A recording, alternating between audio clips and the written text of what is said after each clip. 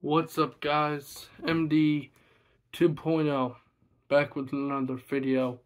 And this is a preview of Cowboy Jets that I'll still be streaming Thursday Sunday. Last night Jets won, okay? Over the Buffalo Bills in overtime. Um, that was a fun game last night. I'll be the first to say that. Um, but earlier today, Aaron Rodgers has been announced he tore his Achilles. And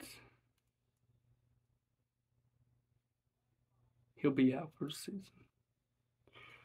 Which means it'll be Zach Wilson starting this Sunday against Dallas.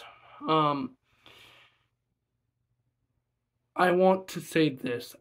I did not this injury sucks for multiple reasons. It sucks for the uh, the fans of the Jets because the Jets fans have been waiting, have been waiting for a team to finally get him, to get him that big push, get him to a at least title game. And now goes their song. Now their defense could get him there, no question. Their defense could win the game tomorrow. It's tomorrow, Sunday, right? Um, but Aaron Rodgers, this, I I do not believe this is his last year. Um, I don't believe this is how he's going to go out as a QB. Um, think he'll be back, and I think he will definitely be definitely be top and definitely be one of the top guys in the league. And uh, when I talked, when I said, can't wait for Aaron Rodgers for Prescott too, two, three seasons, didn't know what that, that was going to cause. I'm praying Aaron Rodgers gets healthy, comes back next year, fires on all cylinders, comes back better than ever. Uh, I really hope that. And uh, prayers up to um, Aaron Rodgers, his family, his friends, stuff like that. Uh, it, it's a tough injury, but injuries happen. Um, this was a good, good team win by New York. And, and there's many reasons why. Okay. First off, right? New York came this game. Four plays in, lost Rodgers. One thing I respect about New York, they didn't just lay down and die. Right? Because if you saw the Packers, right, that one game versus Jordan Love, they put Jordan Love in, they didn't lay down die either, but still. Like, you know what I mean? Tempo. Don't just lay down and die because your star quarterback or a star cornerback or star running back, star wide receivers out. Compete. Compete. Chiefs had Chris Jones and Travis Kelce out one Thursday ago. And they almost won that game. Look, this is going to be a good, good game come come Sunday.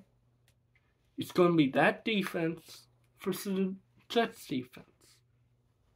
The Cowboys defense for Jets defense. That's what I believe. I believe it's going to be a defensive game. Um, Mike, that old line is going to need to that if I'm the Jets, I am working that O line because if you don't, and the Cowboys come into week two fired up on all cylinders, you're you're going to like last this past Sunday. You're not going to have a chance. I'm sorry, it's not going to happen. Um, And if the special teams and defense is able to do what they did last week, this past Sunday, it's over. Cowboys win. It's easy as that. But you look at this team going forward, you look at this trajectory, trajectory, the Jets, okay? Let's look at their schedule. They got, yeah, they got Dallas. They got Dallas coming up. That's alone, okay? That's alone a very, very tough game. Now adding up, you don't have your star. It'll be, uh, it's to be a tough game to win, but they definitely could. Another game. Uh, let's go down the line a little bit. Patriots. What I saw, I didn't speak on this. Should have. Patriots. When when I predict them sweep New England, I didn't expect New England come out on Sunday and almost beat Philadelphia. Now could they drop off like they have seasons past? Yes. But this is this New England team is looking really dangerous. Right? Dolphins. Dolphins might take both for Jets. Dolphins are incredible right now. Sorry. Sorry, not sorry. They look incredible right now. But this is a game I'm going to be looking forward to for many reasons. How Zach Wilson is going to play as the starter now. Because he was behind Rodgers for an off season. Pretty good matter of off season. How's he going to come into this game? How's he going to be in this game?